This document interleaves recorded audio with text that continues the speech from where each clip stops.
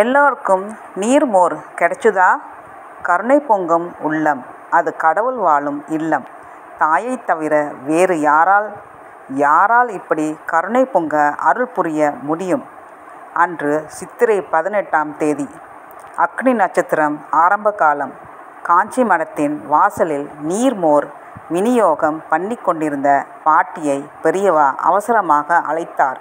இன்னைக்கு நிறைய தயிர் வாங்கி ரெண்டு மூணு அண்டால நிறைய நீர்மோர் தயார் பண்ணி வை ஆகட்டும் பெரியவா.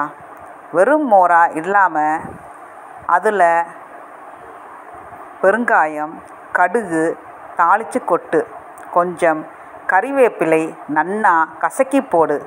வேணும்னா ரெண்டு பச்சை மிளகா கூட நறுக்கி போடலாம். இஞ்சி துண்டு போடுற வழக்கம் உண்டோ? போட்டுடுறேன் பெரியவா. பாட்டி தலையை ஆட்டிவிட்டு உக்ரானம் பக்கம் போய்விட்டாள். பெரியவர் சொன்னபடி செய்ய எதற்காக பெரியவர் இதை சொல்கிறார் என்று யாருக்கும் தெரியவில்லை. ஏனென்றால் அன்று அவ்வளவு கூட்டமும் இல்லை. மடத்தில் இருந்தவர்களுக்கு குழப்பம். அன்று கச்சபேஸ்வரர் கோவில் எதிரில் கடவுள் எதிர்ப்பு கட்சி ஒன்றின் பொதுக்கூட்டம் பகல் ஒரு மணிக்கு நடந்து முடிந்தது. தொண்டர்கள் மடத்துக்கு பக்கத்தில் இருந்த பஸ் ஸ்டாண்டுக்கு நடந்து சென்று கொண்டிருந்தனர். நடந்து வந்ததில் எல்லோருக்கும் நான் வரட்டும் தாகம். அவர்கள் மடத்து வாசலில் மோர் கொடுத்து கொண்டிருந்ததை பார்த்தார்கள். யோ அங்கு பாருயா நீர்மோர் கொடுக்குறாங்க வாங்க போலாம். பாட்டி அத்தனை பேருக்கும் மோர் கொடுத்தார். அத்தனை அண்டாவும் காலி. ஒரு சொட்டு கூட மிஞ்சவில்லை. தாகம் தீர்ந்ததும் அண்டாவை விட்டுவிட்டு மடத்தை பார்த்தார்கள். கண்ணையா வரியா? உள்ளார சாமியை பார்த்துட்டு போலாம் முணுமுணுத்தார் ஒருவர். ஆமானே எனக்கும் ஆசையத்தான் இருக்கு. சாமி ரொம்ப பெரிய கடவுள்தான் ஆனால் கூட வந்தவங்க திட்டுவாங்களே. இதில் வேடிக்கை என்னவென்றால் நூறு பேருக்குமே இதே கவலை பயம். கடவுள் இல்லை என்று அவரை திட்டி தீர்த்த கூட்டத்தில் கலந்து கொண்ட பின் எந்த மூஞ்சியை வைத்துக்கொண்டு மடத்துக்குள் நுழைவது? அவர்கள் அவ்வாறு யோசித்து கொண்டிருந்த வேளையில் மடத்தில் இருந்து சீடர்கள் வேகமாக வெளியே வந்தார்கள். பின்னாலேயே பெரியவரும் வந்துவிட்டார். நீங்கள் எல்லாம் உள்ளே வந்து என்னை பார்க்காட்டா என்ன?